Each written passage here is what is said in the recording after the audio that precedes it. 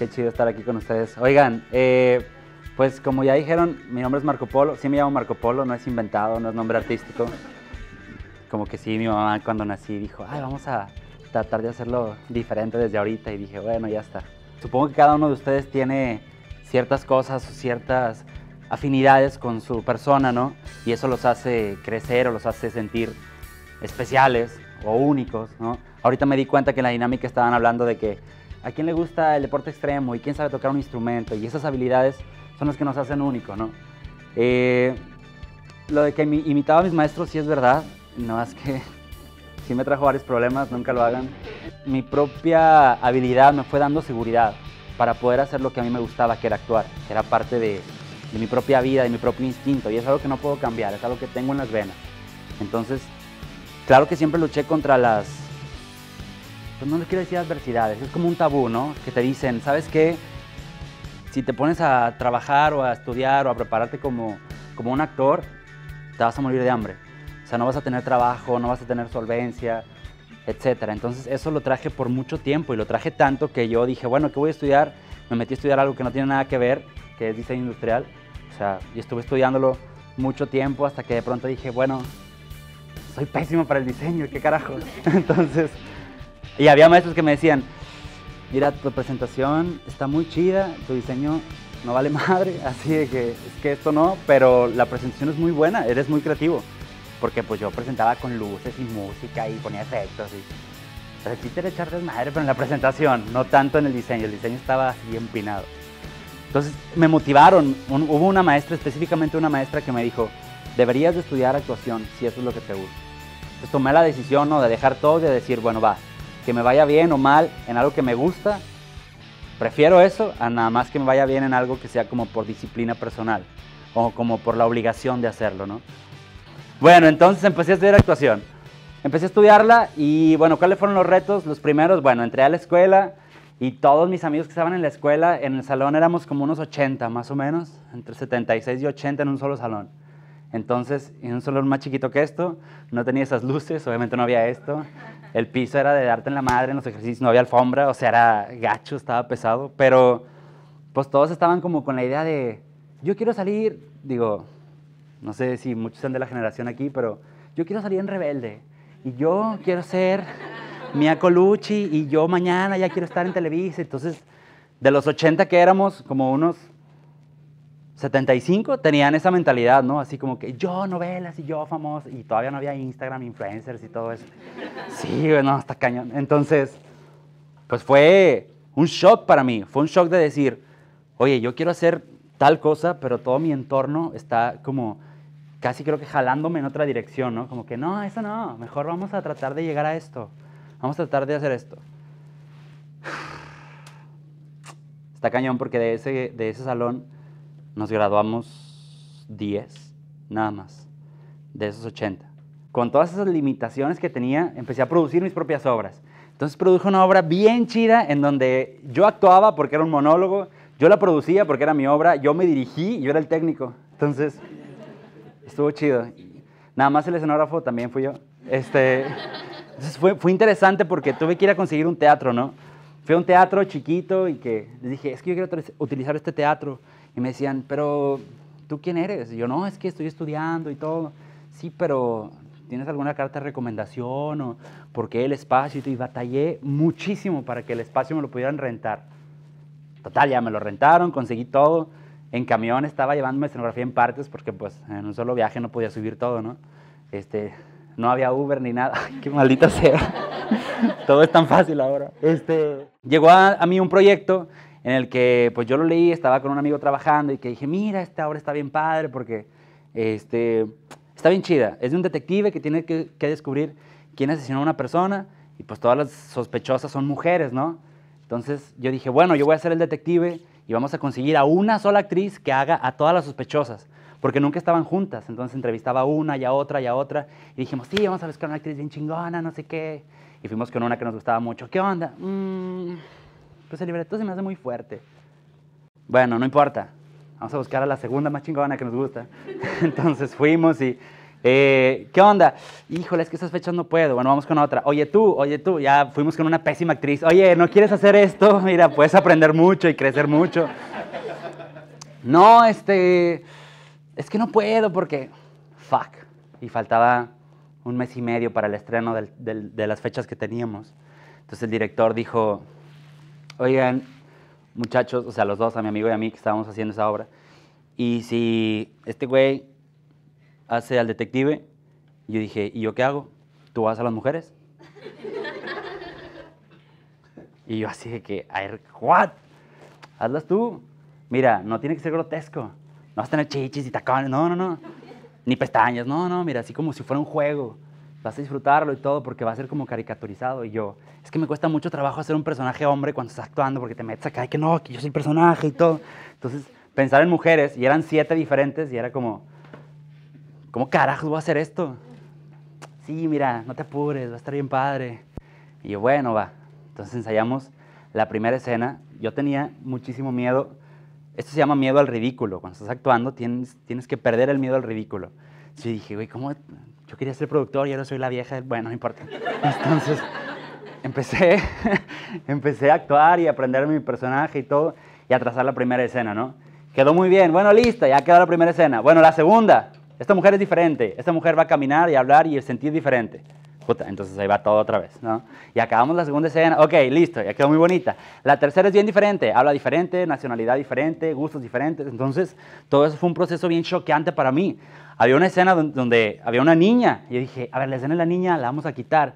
No, hombre, va a estar bien padre. Y yo, yo no me voy a salir con minifalda, no puedo. O sea, no, no, yo no, es ridículo que yo salga vestido de niña. Si de por sí ya salir de, con pelucas y todo, yo de niña y mido dos metros, qué ridículo es eso. Y dije, yo no voy a hacer eso. Batallamos, batallamos, batallaron ellos para... para sí, güey, batallaron para convencerme de hacer esa escena de, no importa, mira, la escena de la niña va a estar bien divertida. Pues bueno, dale pues. Entonces ya hicimos esa escena y todo. En el póster, en la publicidad de esa obra, yo nunca salí caracterizado de mujer, ¿no? Salí con una peluca en la mano y mi compañero ahí al lado, pero la gente no sabía qué es lo que iba a ver. Entonces cuando fueron a ver la obra, pues era el primer día para nosotros era un ¿cómo va a reaccionar la gente? O sea, no saben de qué voy a salir yo. Ya con una falda puesta, ¿qué voy a hacer? ¿No? Así que ¿qué, hago? O sea, ¿qué, ¿qué hago? No sé, ¿cómo lo voy a lograr? Entonces, esas, pequeñas emociones son lo que hacen una carrera exitosa en el sentido individual. Olvídense de que si los boletos, que si la gente, que si... A mí me estaba dando el éxito de aprender. Yo lo sentí como un aprendizaje bien cañón. Porque me atreví a hacerlo y porque rompí mi barrera del ridículo y de todo.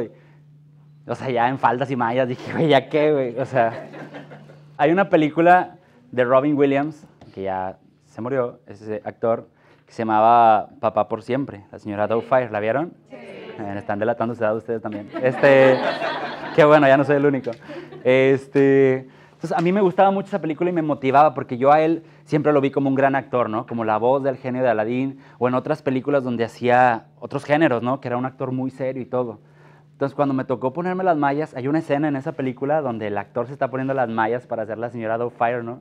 Entonces, literal, está subiéndose las medias con todos los pelos de las piernas así de que subiéndosela. Y yo dije, órale, digo, no estoy igual que él, pero cuando me subí las mallas dije, esto lo voy a hacer porque me gusta, porque es una vocación, porque es mi disciplina y porque le voy a perder el miedo al ridículo. Entonces, heme aquí con ustedes, platicando. Me han pasado cosas malas, ¿eh? No todo ha sido así como, ay, por crecimiento y por bonito y por... No, sí ha habido cosas malas, ha habido gente que ha tratado de, de frenar lo que hago. Fíjense, una vez a mí me invitaron a ver una obra de teatro a un teatro muy grande. Se llama, bueno, X, la obra X, pero el teatro se llama Teatro Versalles, que está ahí en el centro, ¿no? Entonces yo rogaba así de que, por favor, yo quiero estar en ese teatro porque está bien grande y porque va mucha gente. Y me decían, es que tú ahora no puedes estar aquí porque no eres famoso. No importa, es que mira, allá la gente se queda afuera, entonces yo quiero estar aquí. Es que no se puede porque no eres famoso, aquí puras estrellas. Y yo, está bien, no pasa nada. Me invitaron al estreno de una obra de, estrellas, ¿no?